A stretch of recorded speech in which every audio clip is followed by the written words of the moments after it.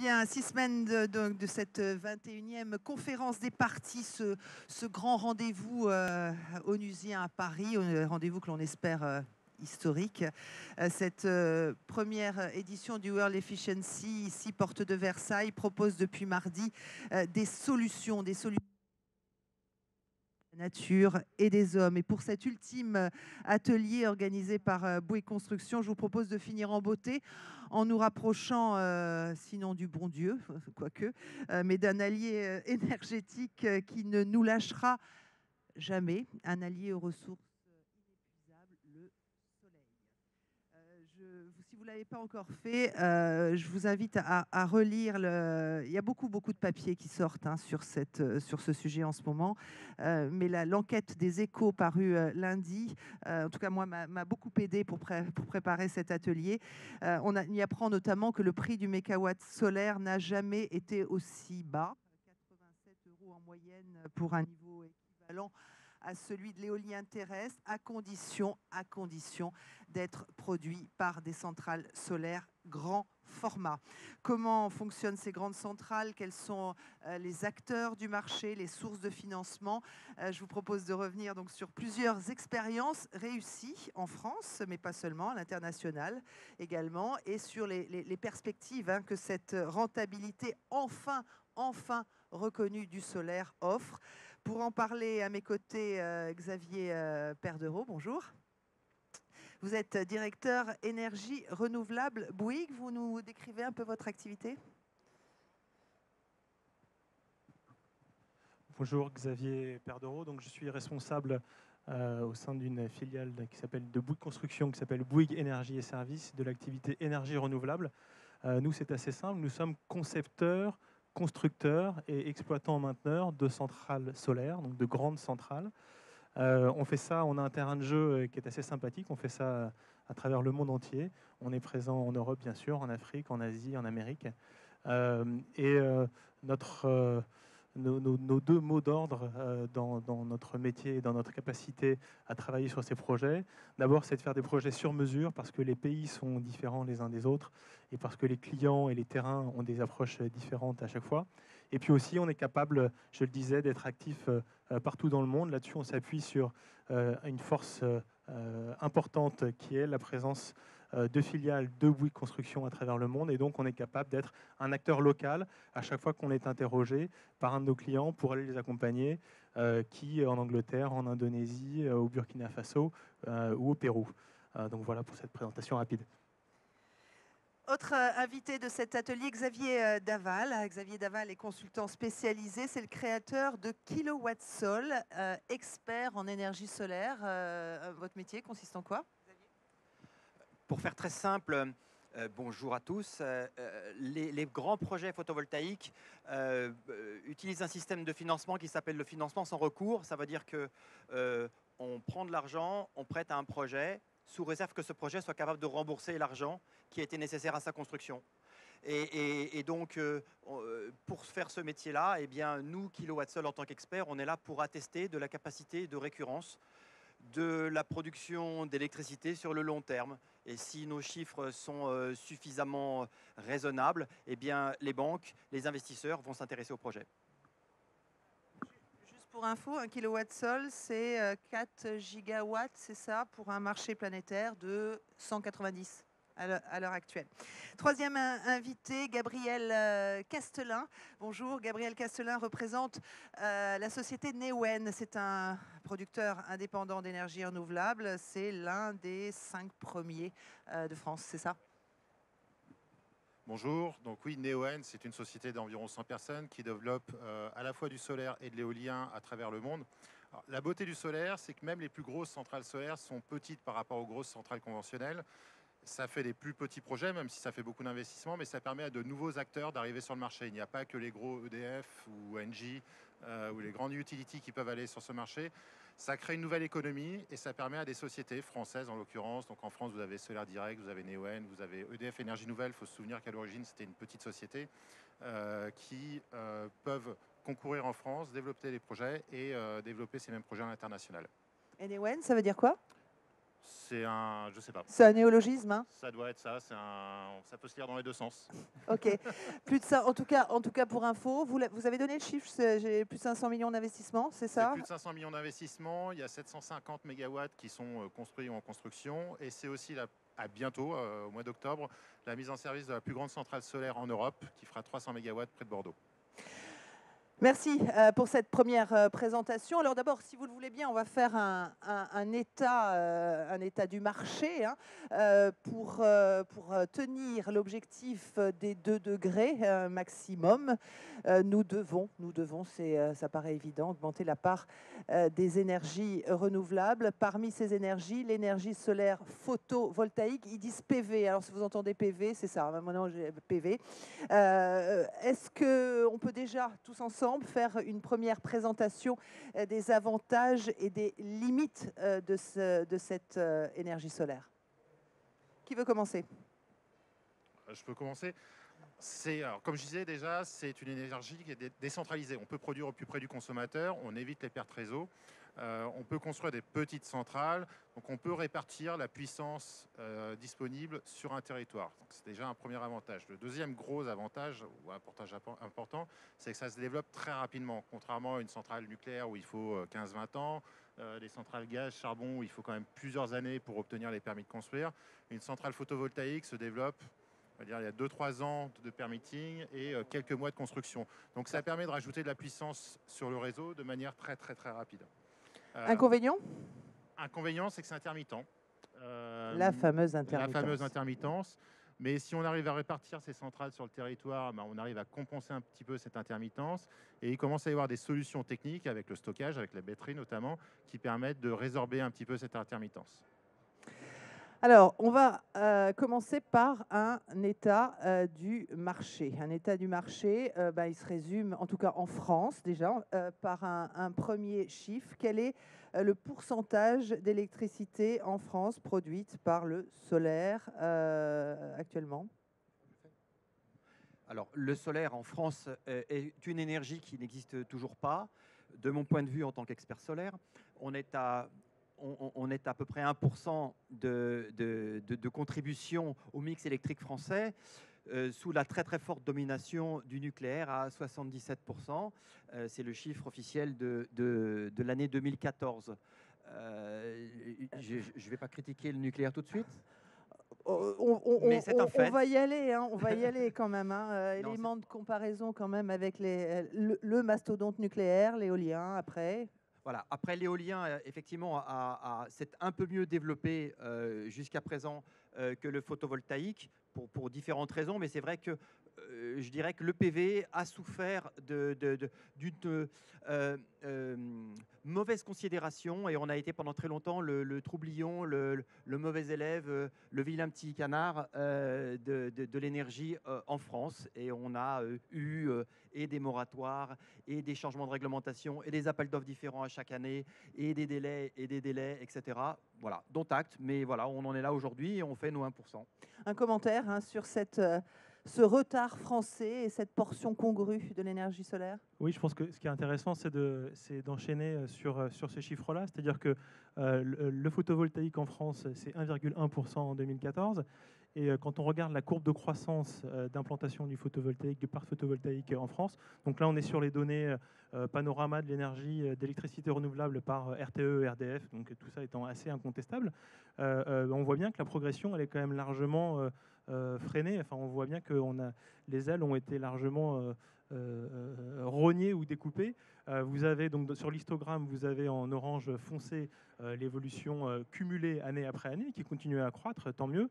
Euh, mais vous avez euh, la, puissance installée euh, annuelle que vous voyez en orange plus clair, et on voit bien qu'il n'y a quand même pas une dynamique très, très forte, et qu'on est aujourd'hui à 1,1%, et qu'on n'est pas prêt d'aller bien au-delà.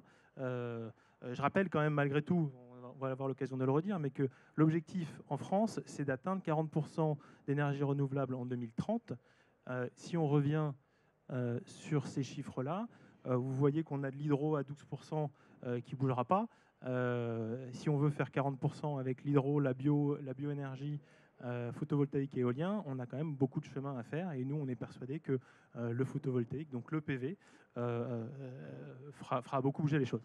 Alors, avant de, faire une comparaison avec le, euh, reste de, l'Europe et de la France, je, me tourne vers un producteur indépendant, mais c'est du militantisme avec compte tenu de, produire de produire des énergies renouvelables et solaires en particulier, compte tenu de ces chiffres. Enfin, non, c'est pas du militantisme. Il faut quand même rappeler que l'énergie solaire était très très chère pendant très longtemps. Hein. C'est comme l'électronique. Euh, les disques durs étaient très chers quand on était jeune, ils sont devenus moins chers maintenant. Les panneaux photovoltaïques sont issus de l'industrie électronique, les prix baissent. Il y a 5 ans, on était à 300 euros du mégawattheure. Aujourd'hui, on est à moins de 100 euros. Ça va se développer, ça va partir. On arrive à un, stade où on a de moins en moins besoin de subventions pour développer des projets. Voilà, ça je vous avais garanti. Ces ateliers ils sont, ils sont placés sous le signe de la chaleur, même s'il fait très froid dehors, et de l'optimisme. Il faut franchement y croire, vraiment. Alors, n'empêche. Juste un petit chiffre euh, pour vous donner des idées, parce qu'il y en a plein qui n'étaient pas nés à cette époque-là. Je crois qu'en 78, le prix du, du panneau solaire, du watt, 24 euros aujourd'hui 50 centimes. Je vous laisse imaginer si vous faites cette comparaison avec une voiture, avec le coût d'une maison ou même d'un ordinateur. C'est énorme ce qui s'est passé. Ensuite, je voudrais juste préciser quelque chose d'entrée de jeu, comme ça, ça sera dit. Le photovoltaïque, c'est l'énergie de ce siècle. C'est indiscutable. En France, c'est indiscutable et on ne pourra rien faire. Et c'est en train d'exploser de partout. Et cette industrie a une croissance continue de 30% par an depuis les dix dernières années. Donnez-moi une autre industrie, un autre métier qui a 30% de croissance. Donc il y a pas mal de jeunes dans l'Assemblée. Si vous avez des directions à prendre, on essaiera de leur donner euh, la parole, de, garder du temps pour vous donner de la parole. Euh, euh, Xavier Perdereau, grâce à ces slides que vous nous avez préparés de manière tellement efficace, on va pouvoir avoir la, comparaison de notre production à nous avec le, reste, le reste de l'Europe. Hein. comment expliquer ce retard français? Ah, peut-être juste pour, pour, commenter cette, euh, cette, carte. Alors, il n'y a pas l'Angleterre, mais ça aurait été intéressant d'avoir l'Angleterre parce que l'Angleterre a connu un boom très fort euh, ces dernières années et a aujourd'hui une capacité, alors que l'Angleterre, c'est quand même pas le pays du soleil, a une, capacité, a une capacité installée qui est plus élevée, si je ne dis pas de bêtises. 6 gigawatts l'Angleterre a aujourd'hui. Donc qui est plus élevé que, que, les capacités installées en France. Je, je précisais juste que l'Angleterre, pour ceux qui n'ont pas regardé la carte, est un pays bien plus au sud. Euh, c'est sa, blague, mais euh, on la retient. et donc, et donc, donc on, voit, c'est à nouveau assez parlant que, que le, le, la France n'a pas un parc très, très conséquent. Et puis, si je ne l'ai pas oublié, voilà, elle est là. cette carte-là est encore plus intéressante. C'est le taux de la couverture de la consommation par la production solaire en 2014 dans les différents pays européens. Et là, alors, je ne sais pas pourquoi le 1,1 est devenu 1,3%. Je suis je ne saurais pas l'expliquer. Ça, c'est votre optimisme. Mais, euh, euh, enfin, on, voit bien que euh, pour tous ceux qui, qui, qui, qui indiquent aussi qu'on a un frein très fort lié à, cette, à, ce taux de couverture en disant on ne peut pas dépasser certains, certains niveaux. On a des pays comme l'Espagne, l'Italie, l'Allemagne ou la Grèce qui sont aujourd'hui autour des 6, 7, 8 et qu'on en est encore très loin avec nos, avec nos 1,1 ou 1,3 comme sur cette carte pour cent. Alors pourquoi, pourquoi ce retard? Il y a, d'abord une question de sémantique, non? Alors, c'est certain que dans les, dans les leviers qui font avancer les politiciens, dans les grandes discussions, et la COP va venir euh, un peu dans ce thème-là, dès qu'on est en anglais, euh, on ne parle pas tellement d'énergie renouvelable, mais on parle de carbon free. Et, et, il se trouve que le nucléaire est carbon free. Donc j'allais dire, la France pouvait considérer qu'elle avait rien à prouver ou rien à faire. Avec 77% de nucléaire et 12% d'hydro, carbon free. Et, par exemple, quand euh, l'Europe a demandé les objectifs des différents pays, la France a été le dernier à rendre sa copie parce qu'elle avait considéré qu'elle n'avait pas de copie à rendre. Et elle s'est vue imposer des quotas, dont on parlait tout à l'heure, avec les 40% pour 2030. Mais, mais euh, euh, ça, c'était peut-être un des premiers freins dans les mentalités. Après, L'autre frein, des phénomènes économiques, la bulle 2009-2010, le moratoire qui a suivi, etc. Mais encore une fois, je pense que la France euh, euh, nous sommes euh, le centralisme jacobin aidant. quand, vous avez, quand vous venez d'un monde où l'opérateur électrique historique est centralisé et a pris l'habitude d'avoir à sa main la commande de tous les moyens de production du pays, il lui est plus difficile de changer de mode intellectuel à une énergie distribuée, répartie, autonome et variable. Et ça, on peut le comprendre. Euh, euh, donc on avait sans doute des freins aussi de par euh, toute la structure euh, technocratique euh, de l'énergie française euh, qui vient d'une culture comme ça, très très monolithique, très organisée, et les choses marchent bien. Et nous avons, rappelons-le, l'une des qualités d'électricité les meilleures d'Europe ou du monde. Donc ça, c'est un fait. Alors, pour que, pour que les lignes bougent, euh, bah, il, faut, il faut des entreprises euh, visionnaires euh, qui courent des risques. Bouygues n'arrive sur le marché du solaire qu'en 2010. c'est pas pourquoi, pourquoi qu'en 2010 finalement, Xavier Perdereau alors on, peut voir les choses comme ça, on peut les voir un peu différemment. En réalité, le, le, marché du solaire en tant que marché pour un constructeur de projets de grande taille comme nous n'est apparu à peu près qu'à cette, cette période-là. Donc on, a eu euh, une implication sur les projets solaires euh, dès, le début des années, dès le début des années 2000. En revanche, on a construit une offre intégrée pour des opérateurs du type Neoen, qui d'ailleurs se sont aussi euh, structurés autour de cette, autour de cette période charnière-là, pour, pour apporter une offre complète conception-construction, avec des tailles de projets qui commençaient et des modes de financement qui commençaient à, à justifier l'apparition d'opérateurs comme les nôtres. Et puis aussi, la recherche, euh, c'est aussi la période à laquelle, euh, bah, moratoire euh, aidant notamment, les projets faciles, je dirais, disparaissaient et il fallait chercher une efficacité coût. et des offres du type de celles que des offres intégrées du type de celles que, Bouygues pouvait, proposer allaient dans ce sens d'une optimisation coût et d'une offre complète intégrée, optimisée en termes de coût et de traitement de projets de grande ampleur. Alors, euh, Martin Bouygues le, rappelait euh, hier hein, lors de la, conférence organisée par le Shift Project. Euh, il, faut, pour que ces énergies se développent, une forme de constance politique. Or, c'est un marché qui fonctionne vraiment par vague en fonction de la législation mise en place par les, les États. Ça ne doit pas être facile pour, pour un producteur comme vous, Gabriel Casselin.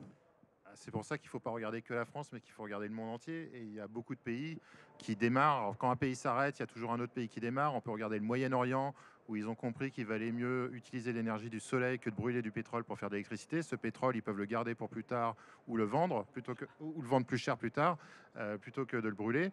Et même si ça continue comme ça, ils seront obligés de brûler tout leur pétrole pour leur propre consommation intérieure. Euh, et puis voilà, d'autres pays commencent à, se développer. Ils voient que ça crée une économie nouvelle, que ça crée des emplois, euh, que ça crée de nouvelles filières. Plus un pays annonce euh, des chiffres long terme élevés, et plus ça attire les fabricants de panneaux solaires ou les développeurs. Et donc, euh, ça crée aussi le travail de demain. Mais pour cela, il faut que des experts comme vous, Xavier Daval, créent la, la confiance, euh, en tout cas euh, soumettre des études qui, créent la confiance. Euh, c'est pas un peu difficile votre job en fonction de cette législation à, géométrie variable? Alors notre job, tout à fait. C'est clair qu'en tant que chef d'entreprise, la difficulté, c'est qu'on a ce que j'appelle cet effet de mushroom market, c'est-à-dire qu'il pleut quelque part et les projets sortent, pop, pop, pop, pop, pop, et puis après le nuage part ailleurs, il pleut ailleurs, et, il faut à chaque fois, un coup c'est en Thaïlande, et puis après c'est euh, l'Afrique, après euh, c'est le Chili qui, part, et puis etc. etc. Donc ça c'est assez contraignant. Euh, et ça demande un dynamisme particulier pour suivre cette mobilité du pays. À l'inverse, fort de l'expérience qu'on a pu bâtir ici en Europe, aujourd'hui, on a un atout parce qu'une grande partie du monde n'a pas encore commencé réellement à, adresser le challenge du solaire. Et, là, on peut venir avec une expérience, cette expérience qui sert à rassurer, qui a donné confiance pour que les projets existent. C'est l'expert qui va dire le chiffre est bon, mais c'est les constructeurs qui vont avoir un track record qui prouve qu'ils savent délivrer euh, une construction de qualité. C'est des promoteurs, etc. Tout ça, c'est un travail collectif qui fait qu'à la fin, on n'est plus dans un monstre euh, en disant le solaire, ça serait joli, mais on est sur un vrai produit industriel qui sait se déployer. Alors concrètement, euh, Gabriel Castelin, euh, lorsque l'été dernier, euh, François Hollande annonce le, doublement de l'appel d'offres public en cours pour la construction de centrales photovoltaïques, en passant de 400 à 800 mégawatts, est-ce que ça fait partie de ces fenêtres météo politiques favorables dans lesquelles vous vous engouffrez? On ne s'engouffre pas, mais on en, profite ou on essaye d'en profiter évidemment. Il y a de la compétition en France et c'est bon. Cette compétition permet de faire baisser les prix. Plus il y a de projets et plus il y a de compétition. Et au final, c'est le consommateur final, où on le voit sur notre facture d'électricité, euh, le consommateur final qui en profite. Ce sont aussi les entreprises françaises qui en profitent. En travaillant en France et en travaillant avec des entreprises françaises, alors il y a des développeurs, il y a des constructeurs, il y a aussi les équipementiers. On peut penser à Schneider, pour, on peut penser à... Euh, Exosun, on peut penser à Photowatt qui fabrique des panneaux solaires en France. ça donne des références à ces sociétés. ça leur permet de développer des projets en France qui leur donnent des références et qui leur permettent d'exporter par la suite. Et ça, c'est très très important. Xavier Daval, quand on a préparé cet atelier, vous me parliez d'un rapport hyper intéressant de la Deutsche Bank. Oui, effectivement, euh, vous allez me prendre pour un, pour un, surexcité du solaire. Et, quand, je, quand, je, quand je parle de, de, l'avenir qui est devant nous, j'aime effectivement faire référence à, cette publication qui date du mois de février, euh, qui a été éditée par des, par des écologistes chevelus un peu utopistes. Euh, je parle de la Deutsche Bank New York. donc vous pensez des gens, des gens un peu d'une autre planète qui disent tout à fait sereinement que pour 2050, le PV sera à 30% du mix électrique. 30%. On a dit mondialement, aujourd'hui on est à 1%. Et la France, finalement, on est à la figure mondiale. Après, quand on regarde les choses, certains pays feront plus, d'autres feront moins. Il est clair que le Danemark va jamais taper dans les 30% de photovoltaïque, ils auraient de la difficulté. À l'inverse, d'autres pays, ça sera sans doute euh, euh, à 40-45%. Et, voilà, voilà où est l'avenir. Donc euh, oui, il y, a de belles perspectives. Alors, je suis sûr que vous êtes comme moi, vous avez envie de voir de l'image, de, voir une grande centrale solaire. À, quoi ça ressemble? Eh bien, ça ressemble à ça. Un Ewen s'apprête à inaugurer, à côté de Bordeaux, à Cestas exactement, la plus grande centrale solaire d'Europe. à quoi va-t-elle ressembler? Il faut imaginer un, parc de 300 hectares construit au milieu de la forêt des Landes. On n'a pas déboisé, euh, euh, la nature s'en est chargée toute seule pendant les tempêtes de l'année 2000. Euh, donc 300 mégawatts, ça représente un million de panneaux solaires. Et quand je vous disais que ça se construit rapidement, c'est un an de construction. pour construire l'équivalent en gaz ou avec une autre énergie, ça aurait pris beaucoup plus de temps. Et une centrale comme ça produit autant d'électricité qu'une ville comme Bordeaux sur une année. Euh, donc si on parle voilà, d'alimenter les villes en électricité solaire, une centrale toute seule, une centrale solaire ne peut pas alimenter une ville puisqu'il faut bien s'éclairer le soir, euh, mais une centrale comme ça permet d'alléger la facture ou le, bilan carbone euh, d'une région complète. Une petite précision, 300 hectares, pour ceux qui ne voient pas ce que fait 300 hectares, c'est la moitié du bois de Boulogne. OK? Pour avoir un ordre de grandeur. Voilà, voilà ce qu'il faut prendre pour alimenter Bordeaux. C'est aussi 500 personnes qui ont travaillé sur le chantier. Il va y avoir maintenant une équipe d'exploitation. Et une centrale solaire comme celle-là va maintenant tourner avec très très peu de frais d'exploitation, parce qu'il n'y a pas de nettoyage, il n'y a quasiment rien à faire. Euh, la ressource, par définition, c'est le soleil et la ressource est gratuite. Donc une centrale comme ça va pouvoir délivrer de l'électricité pendant 25 ans euh, il n'y a que finalement l'investissement initial à amortir. Donc c'est le rôle des banques qui viennent en support, c'est le rôle du montage financier, c'est le savoir-faire des développeurs qui permet justement de faire baisser le coût de l'électricité, avec un coût d'électricité aussi qu'il faut dire fixe pendant 25 ans. Euh, contrairement aux énergies conventionnelles, dont le prix évidemment fluctue en fonction des marchés. Hmm. Pourquoi, pourquoi l'implantation à Cestas Est-ce que pourquoi ce terrain est-il favorable? Ce terrain, il est plat. Euh, ce terrain, il était là. Et trouver les terrains en France, la France est un, terrain, est, un pays agricole. Il n'est jamais facile de trouver les terrains. Donc ce terrain avait l'avantage d'être disponible. Il faut aussi que le terrain soit proche d'une ligne haute tension. C'est un des problèmes de raccordement des centrales. Euh, construire une ligne haute tension de, 20 ou 30 km pour se raccorder, ça coûte trop cher, donc ça peut tuer le projet. Et, euh, et il est dans une région évidemment ensoleillée. Alors juste pour info, Juste pour info, il y, a de la concurrence. Juste pour info, il y a, trois, centrales euh, qui vont être construites par, euh, Bouygues dans les Landes, hein, mais plus modeste, effectivement, 30, 30 mégawatts, c'est ça? Juste plus précisément, puisque celle-là, on n'a pas eu le, plaisir de la construire, mais oui, on a construit euh, pour Neoen trois centrales dans les Landes qui sont réalisées avec, euh, avec un mécanisme un peu, particulier de tracker. Donc en fait, on est sur un mécanisme de panneaux qui sont posés euh, à plat, à l'horizontale et qui, suivent le soleil est-ouest pour optimiser la, production. Euh, ces projets-là se sont faits dans le cadre de, programmes poussés, par le gouvernement, donc ce qu'on appelle les, pro, les, projets Creux 1, Creux 2, enfin, en l'occurrence projet Creux 1, donc avec un tarif bonifié accordé par le gouvernement parce que portant une technologie de développement et de, et, de, et optimisant la, production. Et puis, il se trouve que récemment, on a signé un autre projet avec Neoen aussi, toujours en France. Donc, il y a de l'activité en France. Mmh. qui nécessite d'être accompagné. Qui nécessite d'être accompagné. Et c'est, en fait, on, a, nous, on se rend compte qu'on a quand même besoin d'un d'une activité minimale pour arriver à, garder les compétences euh, euh, en France et à, maintenir un flot de compétences. Et puis ensuite, euh, une fois qu'on a ce, flot-là, on essaye de prendre d'autres projets ou gros projets en France. Et puis surtout, on part à l'international pour accompagner le développement du solaire. Et là, vraiment, le, savoir-faire international de Bouygues entre en, entre en jeu. On part premier. Excusez-moi, vous aviez un. Oui, juste, on parle de l'international. C'est vrai, il faut on le fait en France pour montrer qu'on sait le faire à l'international aussi.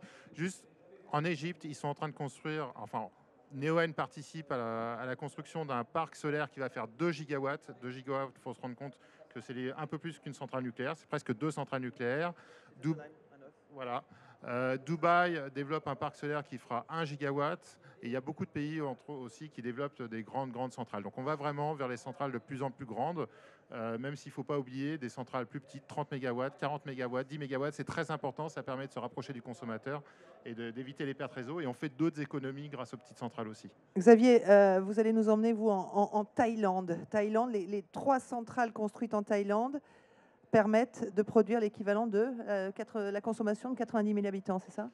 Oui, on a, été amené à construire il y, a de ça, il y a de ça deux ans maintenant trois centrales en Thaïlande qui font 10 MW chacune et avec une production effectivement qui, correspond à la, consommation de 90 000 habitants à peu près. Ce, qui était intéressant, c'est qu'on euh, a été parmi euh, les, premières centrales euh, construites, construites en Thaïlande, avec, avec des autorités locales qui avaient conçu le schéma avec des centrales qui étaient limitées en puissance à 10 mégas parce qu'elles étaient un peu inquiètes de, de l'impact de ces centrales sur leur, sur leur réseau. Euh, et on, a été amené un peu à, essuyer les plâtres avec eux. C'était assez intéressant. Et on a découvert notamment euh, dans les échanges qu'on a pu avoir avec eux sur les réglages de nos centrales par rapport au réseau, qu'ils ont découvert que finalement, le bruit provoqué, le bruit sur le réseau provoqué par nos centrales photovoltaïques avait moins d'impact que euh, des centrales générateurs diesel qui étaient de, moyenne dimension, qui sont connectées à leur réseau et qui sont finalement plus génératrices de bruit et plus problématiques que ce qu'on a, pu, que ce qu'on a pu mettre en place nous-mêmes. Alors, on part en Amérique du Sud avec vous, euh, Gabriel, euh, et l'expérience du Salvador. Alors, le Salvador, c'était un appel d'offres. Alors, il y a plusieurs modes de développement hein, dans les énergies renouvelables. Il y a des feeding tarifs, comme en France, avant, et presque encore un petit peu maintenant. Il y a d'autres pays qui ont des feeding tarifs. Et il y a d'autres pays sur lesquels on fait des appels d'offres et le gagnant est celui qui propose le kilowattheure le moins cher en l'occurrence, au Salvador, c'est une centrale qui fait à peu près 70 MW. Il y avait une trentaine de concurrents et Neoen a pu proposer le prix le plus bas. Alors pourquoi Pas au détriment de la qualité? Euh, justement, plus on fait de la qualité, plus on obtient des financements compétitifs. Donc en faisant un projet de qualité qui va durer pendant 25 ans, euh, avec un prix d'électricité que je n'ai pas en tête, euh, mais qui est sûrement qui est autour de 70 dollars ou 80 dollars du mégawattheure. Euh, ce projet n'est pas encore construit, il n'est pas encore en construction. On est en train de finaliser le closing du projet, c'est-à-dire qu'on est en train de finaliser le financement et les aspects construction. Et euh, une fois que ça va partir, d'ici euh, quelques mois, il y aura à peu près six mois de construction. On, passe par le Chili avec vous, Xavier Daval, puis on, met le cap sur l'Afrique. Le, Chili, c'est aussi une expérience intéressante en matière de, de centrales solaires. En fait, tous les pays du monde sont un peu particuliers. Le Chili est, un pays très, très, très vertical. Euh, pour lequel le réseau électrique est coupé en trois parties. Il y a le réseau du nord, le réseau du centre, le réseau du sud, euh, parce qu'ils ne pouvaient pas tirer un fil, j'allais dire, du nord au sud. Et donc, dans la partie du nord, c'est la partie minière qui a une activité très particulière qui sert exclusivement à alimenter toutes les mines. On y trouve du cuivre, on y trouve beaucoup de matières premières dans, ces parties hautes, l'Atacama. et c'est l'un des plus beaux spots pour le solaire au monde. Nous, en tant qu'experts, on analyse les chiffres et quand on a des données collectées sur le site, on les regarde, voir s'il y a des bugs, si la station météo s'est arrêtée, etc. Donc on regarde tous les jours un par un. Et sur un projet qu'on a fait là-bas, on a cherché, on ne trouvait pas un seul jour avec un nuage. On a dû en trouver trois dans l'année. Donc c'est juste hallucinant d'imaginer qu'il n'y a jamais de nuage. Donc c'est l'endroit le plus favorable pour y faire du solaire avec juste un corollaire, c'est qu'aujourd'hui, donc les centrales solaires qui sont en train de s'implanter dans cette zone, et je crois que vous en avez fait une aussi, euh, euh, mais c'est pas sur la vôtre qu'on a travaillé. Ah oui, c'est vrai. Ah bah Ils font des affaires sans arrêt. Depuis, depuis mardi, c'est comme ça. Et donc, et donc ce qui était intéressant, je disais, c'est que la demande, elle est ce qu'on appelle en anglais 24-7, c'est-à-dire 24 heures sur 24, 16 jours sur 7. Il y a des machines qui tournent et qui ont besoin de la même consommation. Donc c'est très très simple. Et, le solaire, malheureusement ou heureusement, même avec des trackers, il a une production qui fait ça. Et, donc tant qu'on en met jusqu'à à peu près 30%, ça va bien, c'est réglable. Et au-delà, et ça commence à devenir une contrainte qu'il faut compenser euh, par d'autres méthodes. Mais encore, il y a plein de choses à faire. Alors, euh, on met le cap sur, l'Afrique. Hein, euh, alors, Évidemment, on, a tous entendu parler et lu des choses sur euh, le, projet cher à Jean-Louis Borloo, hein, Power for Africa, mais la réalité sur le terrain. Il y a une autre chose dont on a tous eu connaissance récemment, c'est les contributions qui ont été fournies là à la veille de la conférence du climat par plusieurs pays africains qui sont très très ambitieuses, mais la réalité sur le terrain en matière d'énergie solaire en Afrique, c'est quoi? Je vais peut-être faire un petit truc. Le solaire, pourquoi? Pour qu'un projet solaire fonctionne, il y a trois prérequis. Le premier, il faut qu'il y ait assez d'ensoleillement. Euh, et il se trouve qu'en Afrique, il y en a assez partout. Le deuxième, il faut un minimum de stabilité politique, parce que comme on l'a dit déjà plusieurs fois, le photovoltaïque, on paye d'abord pour acheter le système, qui se rentabilise tout seul par de l'énergie qui vient du soleil gratuite pendant longtemps. Mais on paye d'abord. Et personne ne va prêter d'abord s'il n'est pas sûr que demain il est remboursé. Stabilité politique, elle est critique. Et le troisième, il faut qu'il y ait une demande. Parce que l'électricité ne se stocke pas. Ça veut dire qu'il faut que le kilowatt qui sort de ma centrale soit consommé quelque part et si possible le plus près possible pour éviter de chauffer les pattes des oiseaux dans les fils. D'accord? Donc ça, c'est les trois prérequis.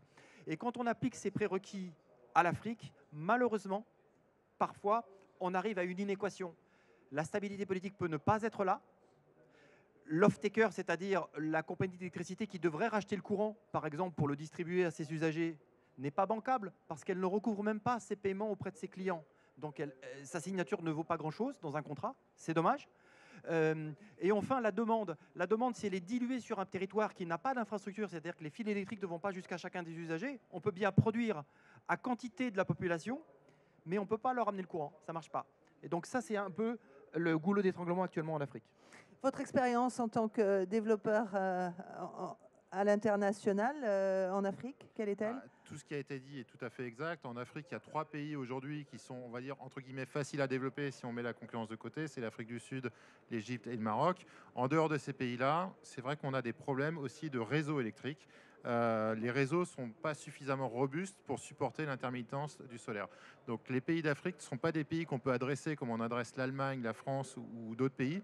Il faut, ou les États-Unis, il faut des systèmes différents.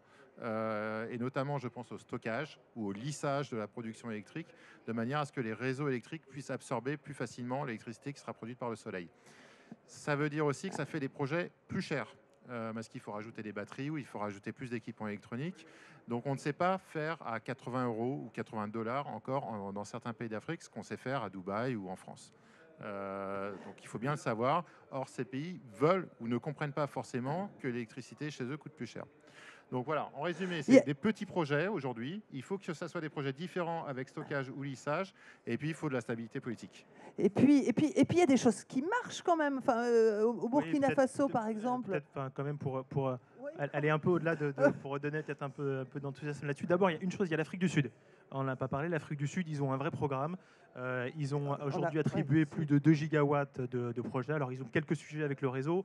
Euh, tout ne, roule pas euh, complètement, tout ne coule pas complètement de source, mais il y a une vraie ambition politique, un vrai programme, une vraie industrie qui s'est mise en place avec du, ce qu'on appelle local content, donc avec l'obligation pour les industriels de, de, de manufacturer des, projets, des, des, produits sur place. Donc, l'Afrique du Sud, c'est un vrai marché. Après, il y a quelques autres pays avec des, initiatives intéressantes. vous en faites une, vous, au Mozambique. nous, on en a vu une. Alors, on n'est on est que un des compétiteurs, mais... le projet est vraiment très intéressant. Au Burkina Faso, euh, avec un projet qui est développé par la Sonabel, donc qui est le, EDF de, du Burkina, euh, pour faire trois centrales de 11 mégas chacune. avec encore une fois un programme qui été très bien monté, des financements européens qui sont, allés chercher et qui sont bien maîtrisés. Et, et, enfin, nous, on, mise pas mal d'espoir aussi, au-delà des développeurs privés, parce que le privé, sur financement privé, c'est parfois compliqué en Afrique, sur des, opérateurs nationaux qui, bien, bien équipés et avec une, avec une volonté forte, comme on a pu le voir au Burkina, sont capables aussi de développer des projets très intéressants franchement, il reste 9 euh, minutes si on veut respecter les temps. Xavier Daval doit euh, nous, quitter. Je voudrais vous laisser le temps de, poser, quelques questions. Juste un dernier, un dernier point sur la fameuse question de l'intermittence, la réalité euh, et comment la contrer, cette intermittence. Qu'est-ce qu'on peut dire sur ce thème-là? Si vous avez des questions sur ce thème, n'hésitez pas aussi à les poser. Alors l'intermittence, oui, le soleil se lève le matin, se couche le soir. Donc l'énergie solaire ne marchera jamais la nuit. Je suis désolé de vous le dire, mais c'est un postulat. Ensuite, l'intermittence est un mal. Il faut savoir quand même qu'en France, les énergies intermittentes, c'est très vilain. Boue, poids, pas beau. D'accord? Par contre, il se trouve que d'autres énergies sont complètement stables. Or, vous savez quoi? La demande, elle est ni intermittente, ni stable. Du moins, elle n'est pas avec un profil en cloche, ni un profil plat. Il se trouve que depuis des années, la France a bâti une industrie nucléaire qui a soumise ou asservi l'énergie hydraulique française. On pompe l'eau la nuit parce qu'on a l'électricité dont on ne sait pas quoi faire pour la remonter dans les barrages pour pouvoir gérer, les pointes et les fluctuations. Il est tout à fait normal d'utiliser l'hydraulique pour adapter le nucléaire. Par contre, il serait complètement illogique d'utiliser l'hydraulique pour adapter les intermittences. En conclusion et avant de passer aux questions, la, solution à la solution, ça reste de toute façon la, mixité. les centrales solaires ne remplaceront jamais les, centrales nucléaires. Enfin, clairement non. Hein. On n'est pas en train de dire qu'il faut faire euh, du tout PV ou du tout photovoltaïque euh, pour, euh, pour produire de l'énergie. Par contre, notre credo, c'est que le photovoltaïque doit avoir une part importante dans le mix et qu'ensuite chaque pays chaque, ou chaque collectivité doit, gérer et penser son mix mais le photovoltaïque aujourd'hui est compétitif dans le cadre d'une répartition d'un mix énergétique pour un pays ou pour une région. Je suis un fervent euh, partisan du, mix énergétique qui inclut du nucléaire aussi pour la France. Il faut voir aussi que certains pays ont des pics de consommation qui sont l'été et la journée. et là, le photovoltaïque match directement le, pic de, consommation, c'est parfait. En France, ce n'est pas forcément le cas. Mais en France, on a l'hydro justement pour compenser cette intermittence ce non-match. Je ne veux pas donner l'impression d'être anti-nucléaire. Le nucléaire a fait faire de très grands progrès à l'ingénierie française et on est l'un des pionniers, etc., etc., dont acte. Et on a l'une des électricités les plus belles du monde, etc., etc. Ce que je voulais simplement dire, c'est que le PV est l'énergie de ce siècle, que c'est l'énergie qui va être la plus importante et c'est une source extraordinaire de croissance. Décider que parce que il y a 50 ans, un choix énergétique a été fait en France ce soit une énergie auquel nous n'ayons pas le droit de toucher, d'avoir des références, d'avoir de l'expérience pour aller la porter ailleurs, ça serait complètement stupide. Pardon, un dernier truc, c'est que le, solaire aussi est une énergie qui n'a pas de conséquences euh, géopolitiques. Hein. on n'a pas, pas besoin d'aller à servir un pays pour aller prendre de l'uranium, pour aller prendre du pétrole ou pour aller détourner des cours d'eau. L'énergie la plus pacifique du monde l'énergie la plus pacifique du monde. Ça, c'est une belle conclusion. Maintenant, à vous, est-ce que, avant que nos invités nous quittent, est-ce que vous avez des, questions Un micro peut circuler?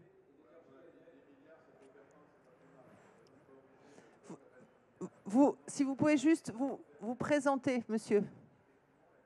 Euh, bonjour, je suis étudiant euh, en école de commerce euh, à Paris et je me posais simplement la question de la conception des, panneaux solaires qui aujourd'hui sont faits bah, beaucoup, il me semble, à base de béton lourd, rares, dont les, réserves ne sont pas infinies.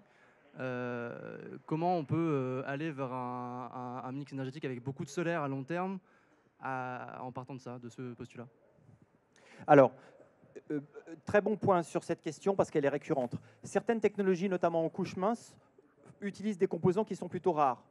Euh, le MIT a fait un petit calcul assez intéressant. Si euh, je devais construire 100% de, fournir 30% du, du, solaire en 2050 à partir d'une technologie couche mince, il faudrait 265 ans de, production minière pour le faire. Donc, vous avez compris que ça veut dire non Si je dois faire la même chose avec le silicium et sur lequel le, point bloquant actuellement c'est l'argent, il me faut 6 ans de production minière. D'accord? Donner les ordres de grandeur. Donc avec des technologies au silicium. La deuxième point, c'est que le silicium est le composant le plus abondant de la croûte terrestre. Donc la technologie silicium, ce n'est pas un produit rare. Une autre euh, question peut-être? Madame. Euh, est-ce qu'il y a des espoirs d'arriver de, à stocker euh, l'énergie solaire? Pouvoir s'en servir la nuit ou? C'est pas un espoir, on y arrive. On, sait déjà faire. Il existe des batteries aujourd'hui qui permettent de stocker l'énergie solaire. Aujourd'hui, c'est cher, mais les prix baissent. Euh, on rappelle tout à l'heure la baisse du prix des panneaux solaires. Les panneaux solaires, prix a commencé à baisser quand le marché s'est développé. Le prix des batteries va aussi baisser avec le développement du marché. Puis après, on peut chercher d'autres méthodes de, stockage. Euh, le solaire thermique, on stocke de la chaleur et cette chaleur, on l'utilise quand on veut pour faire de l'électricité. Euh, on peut utiliser du stockage hydraulique. On peut imaginer un mix, euh, un mix pour le stockage qui permet de, réduire les coûts.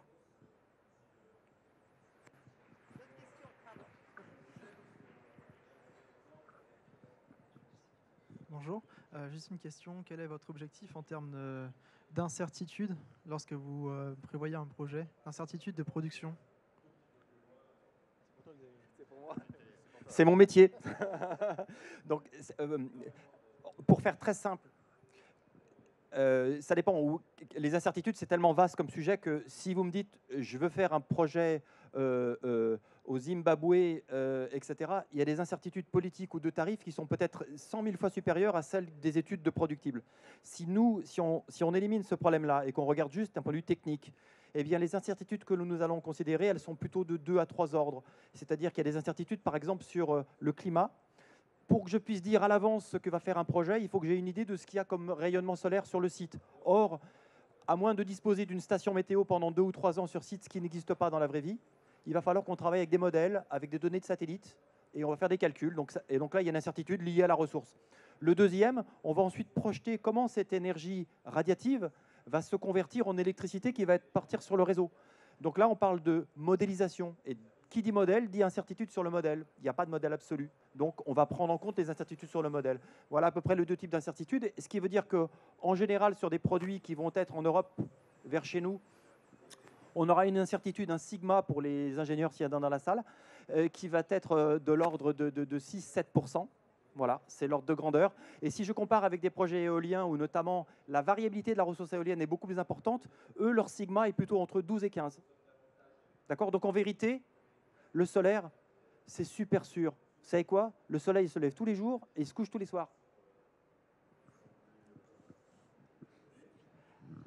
Bien, ben écoutez, malheureusement, on, pourra poursuivre cette discussion en, off euh, dans les couloirs, mais on me signale qu'il faut qu'on laisse la, place à un autre atelier. Merci de votre euh, interactivité, merci de votre présence. Et merci à nos invités.